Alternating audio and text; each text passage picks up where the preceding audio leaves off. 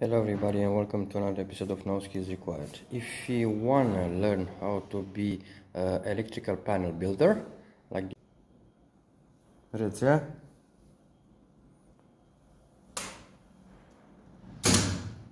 manual, automat, generator,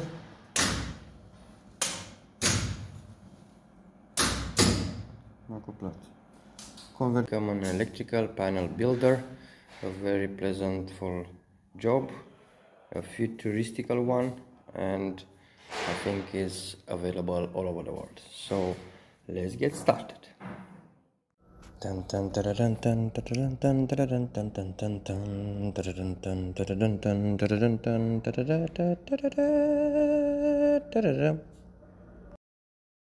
Alright friends, so for the video of today I'm to show you, this is the first video of uh, how to become an electrical panel builder. We're to start from scratch with the tools that you're to need to, to be an electrical panel builder. Alright, so let's get crack on. Alright friends, so first things first, you're to need a chart like this one, cable rating table you're gonna need the cross section of the wire typical current and the circuit breaker. This one you have to print it and put it all the time with you and just consult it till you're gonna learn all these uh, values over here. All right next thing on the line you're gonna need a project. You're gonna need the schematics because you cannot build it from your own head and whatever so uh, schematics is a very simple one a distribution panel one. You're gonna have to learn the symbols and how to interpret this uh, thing. What do you we see here you know for the we see L1 L2 L3 that means this is a three-phasical system or 380 volts or next to 400 volts and we're gonna see here we got uh, a circuit breaker with a differential of uh, 30 milliamps. This is uh, P plus N means it's got two poles one for the neutral and one for the positive side and is rated 16 amps. So this is a very basic circuit breaker with the differential stuff. And we're gonna see here what cables is gonna be connected to is a NHXH this is the E90 is um, fireproof. And we're gonna see here 3 times 2.5 so this one is a very basic electrical wire for appliances you know for plugs mainly. Because on the light fixture we have 1.5 mil the cross section here we go. This is why we are talking about a cross section. As you can see the second one 2.5 mil is gonna be rated to 15.9 till 22 amps and the recommended circuit breaker is 15 amps. But because on our standards we don't have a 15 amp circuit breaker we're gonna choose the next one 16 amps. So that's why the the table the chart is very good and uh, makes your life easier when you're going to spot the cable and the amps and the circuit breaker as well. So this one is very important. Print it have it with you all the time. So we saw the the plan. This one is very simple one.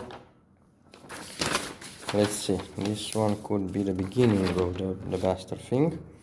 So what do we we see here we see here a big main switch like this one. Here you go. This is uh, 3 LN 3 lines plus the neutral 3 poles and 80 amps. So this one is your main breaker. It's got a, a tension liner you know a couple of LEDs that's gonna uh, show us if we're gonna have the uh, phase on the L1, L2, L3. So this one is the main breaker, another uh, breaker for the tension to see if we got power or not.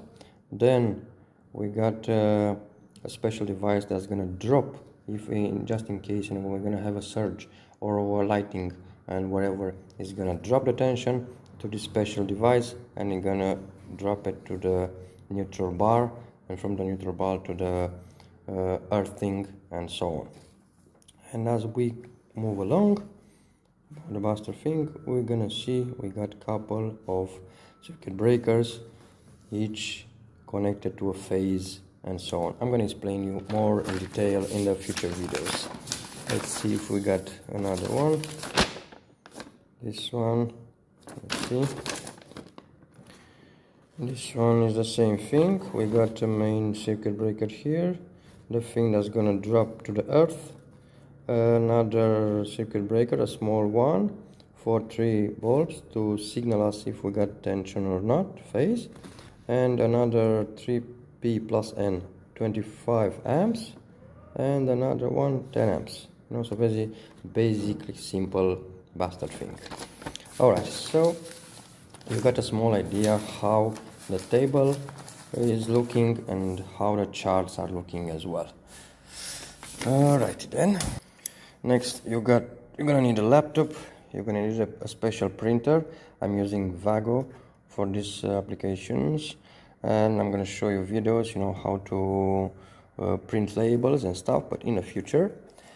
What else? You have to bear in mind these are the ending terminals.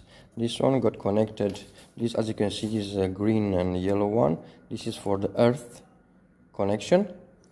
Uh, this one you're gonna plug it into the main rail and you're gonna do your connection here with a pin and the final consumer is gonna be connected here. So with the printer we're gonna use it to make labels here there and whatever. I'm gonna show you about the ending terminals as well. This one let's what's it's got a description WAGO la la la made in germany conductor ground terminal block you see. Conductor ground terminal block. As you can see this from the ground a terminal block in a future videos as well. Alright then. So let's get back to tools. Tools. First and most used tools is the multimeter. I got a couple of videos there and there you know how to to show you how to use it. A very important one is um, um, the continuity test as well is well explained there how you're gonna proceed a continuity test. The symbol for continuity is this one. Here you go. Maybe on your multimeter is another one but on this one HT25N is this one. This is for continuity. Basically now we got we put it in the continuity but because we do we don't have the continuity meaning that the wire is broken or in, uh, interrupted the meter doesn't show us nothing. When we're going to connect the probes you're going to hear a beep and you're going to show you a value. That means you got continuity. So from the terminal block to your main breaker or whatever if the sound is this you, your wire is good to go if you put it there and there something is wrong because it's not doing the thing here you go. So the multimeter. We have to do more videos about the multimeter as well. But what next? Uh, next. Pretty explanatory. You gotta need an electrical isolated screwdriver. This one is not good but because it's small we do need it in some kind of project. You're gonna need a, a flat couple of screwdrivers a phillips and a special ones as well. Uh, wire cutter like this one or there are various things you're gonna need a plier maybe this one to go into tight places. And then most important stuff you're gonna need a wire stripper. Wire stripper came into various uh, shapes and sizes. Let me find a wire. There you go. We got a wire here a thin wire this one the wire stripper is you're gonna connect it here put it into the 2.5 or 1.5 depending on how long you're gonna strip it. Here you go. This is the thing. We have managed to strip the wire. Come on bastard thing focusing here you go. We managed to strip the wire and we're gonna attach a pin. What means a pin? Come on. A pin is like this pins are in various shapes and sizes double ones simple ones as well. But in the multi-filar connection like this one basically there are multiple wires. Come on focusing thing come on bastard. Jesus christ. Ah, it's a bastard thing so it's got multiple wires like this one. It's a must. You have to use it. There is no other way you have to use the pin. So after you have been stripped the wire we're gonna insert the pin in. This is the, the wrong pin for the cable by the way. Come on. And if you manage to put it right you have to be on top of the thing. So this one is a little bit too long. We're gonna cut it. And as you guessed it we're gonna need a pin attacher uh, basically a special tool that's made to put pins on uh, cable. So we're gonna put the bastard thing in. There we go. We're gonna check the connection. Is all right but this one is a bit little bit bigger for the cable as well. All right so you have the wire stripper you have the screwdrivers the fucking multimeter the plier thing that's meant to to put pins still it's got a, here a gauge. 10 uh, inches or 10 whatever is this one and if we're going to flip it it's going to open the, the these jaws a little bit more and it's going to allow you to insert 16 pins as well. Okay so here's another wire stripper this one you see? And another one a fixed one as well but this one is for for tight places. You a pin in and put it over. And as well more because there are multiple pins multiple sizes you have to have a lot of pliers like this one maybe for this one auto thingy bastards. Here we go. And a bigger one for size 35 or whatever it is one here you go. You got big jaws. Close it maybe. It's gonna hold. And for another one you know for insulated thing. And as well for the big cables that you ain't gonna be able to cut them with this one or with this one. You're gonna need a special plier like this one. You're gonna let's turn the bastard thing on. Come on. Where is it open there you go. You're gonna put it on the cable. Uh, let me show you cable. Here you go. We got the big cables here. I think it's size 35 or 40 as well. We're gonna put the thing in. And there you go. Easy easy lemon squeezy effortless you know cutting the big size salami like this one.